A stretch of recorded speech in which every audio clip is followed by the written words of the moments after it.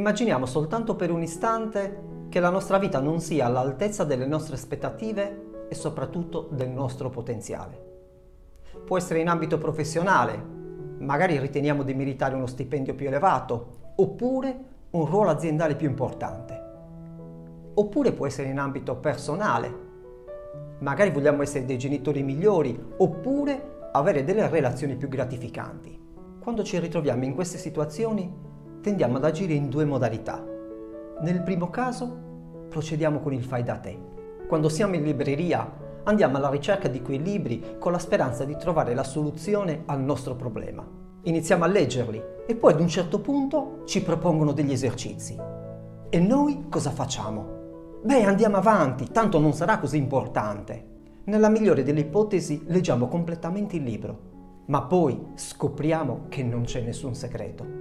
Allora svoltiamo ed andiamo su internet, dove troviamo centinaia di guru che vogliono spiegarci come avere una vita super felice da un punto di vista personale, professionale, finanziario, relazionale. A parte pochissime eccezioni, che forse possiamo contare sulle dita di una mano, proviamo a chiedergli se hanno una casa di proprietà comprata con i soldi propri e senza mutuo.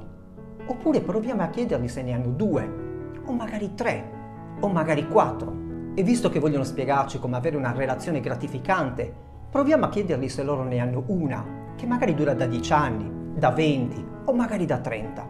Se facciamo queste ricerche scopriremo che non rimane nessuno, a parte quelle poche eccezioni che ho citato prima. Nel frattempo però noi continuiamo a procedere con il fai da te. In pratica procediamo per tentativi, per poi scoprire però che questo approccio non funziona. Perché cercare di risolvere un problema dall'interno è come cercare un ago nel pagliaio. È come tentare di uscire da un labirinto senza avere una visione dall'alto.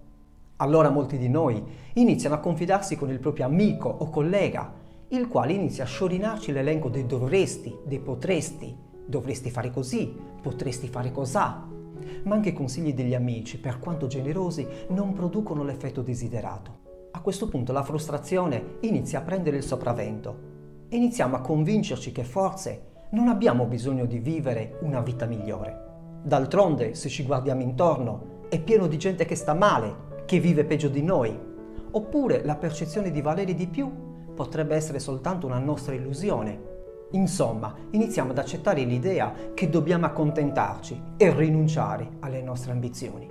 A questo punto è giunto il momento di chiederci come procedono quegli altri che accantonano l'idea del fai da te. È semplicissimo, hanno l'umiltà di farsi affiancare da un allenatore del potenziale umano. Molte volte può essere un mentore, oppure un consulente, oppure un trainer individuale, magari qualcuno che svolge questa professione da 30 anni. Non nego che si possa riuscire a vivere una vita all'altezza del proprio potenziale anche procedendo da soli. Il problema è soltanto il tempo, perché noi abbiamo un'unica certezza. La nostra vita è estremamente limitata. Potersi permettere un coach professionista non è un problema di costi. Tutti se lo possono permettere. È soltanto un fatto di scelte.